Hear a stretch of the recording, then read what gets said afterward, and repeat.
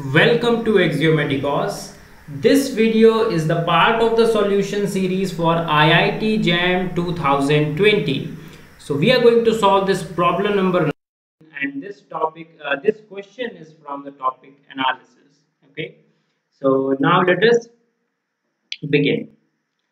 So we have the radius of convergence of the power series. So we have a power series for which we have to find out the radius of convergence okay?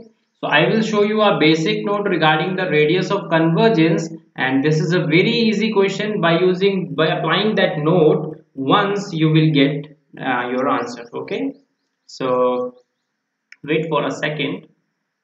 So what this note actually suggests us that if we have this power series like this okay so if summation this is our power series then the radius of convergence of power series is given by 1 over r lim sup of n to the power 1 by n. Okay? So this is a very important result regarding the power uh, regarding the power series uh, regarding the convergence of the power series. So let us begin. Okay? So uh, let me use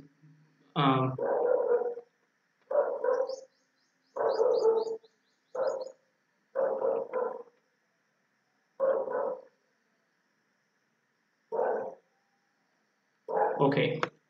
So now see what we have. So we have this power series n plus 2 over n to the power n square dot x to the power n. So this is our power series okay? Now from this note what we are going to determine we are going to determine this as a. Okay so this is our an so for this power series if we have an like this okay uh, it will it is n square. So what will be the radius of convergence then? Radius of convergence will be given by limit n goes to infinity n plus 2 over n to the power n square. Why i am using limit here? This is an important thing to recognize. Because i know that the sequence i am going to write here will converge. Okay? What we know about lim sup lim inf and uh, convergence of the sequence. Suppose we have a sequence that is convergent then lim sup of that sequence is equal to lim inf of that sequence is equal to the limit of that sequence. You're getting my point or not? So this is the basic thing that we know about the lim limit superior and limit inferior. What i mean mm, what i mean by that i will just repeat everything. I want to say that this lim sup of xn is same as lim sup of xn lim inf of xn and limit of xn. If and only if our sequence xn is convergent. Okay? So this is a basic result. Now i know that whatever sequence i am going to write here will converge. Therefore i am using this limit thing here. Otherwise i would have written lim sup here. You're getting my point?